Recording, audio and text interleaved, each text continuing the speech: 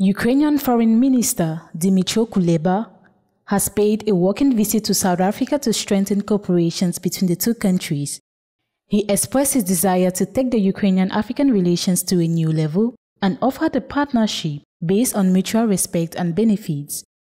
Kuleba appreciated South Africa's involvement in promoting peace efforts in Ukraine and invited them to participate in the World Peace Summit. The South African minister, Naledi Pandor on her part, welcomed the opportunity to engage with both Ukraine and Russia, emphasizing their non-aligned stance. It was Kuleba's first visit to South Africa as he tries to show up support for Kiev on a continent where Moscow holds considerable influence.